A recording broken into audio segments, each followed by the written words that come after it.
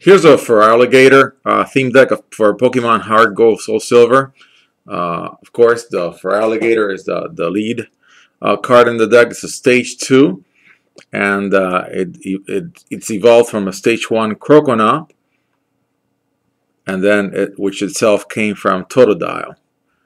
Um, then you also get uh, some uh, purple Pokemon. You get Hypno, which evolves from Drowzee then you also get Exeggutor, which evolves from Exeggcute.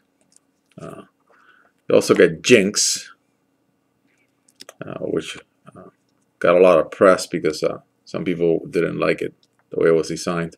Slowbro, stage 1, and Slowpoke.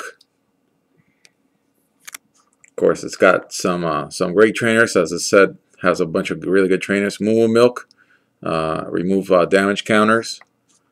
Pokeball, um, where you can search your deck for a Pokemon. Uh, Professor Oak's new theory, shuffle your hand into your deck and draw six cards, very nice card.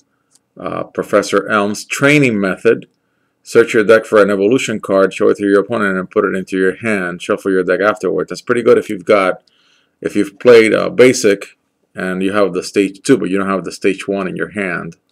Uh, Bill, draw two cards. And full heal. Remove all special conditions from your active Pokemon, like if it's burned or any other issue.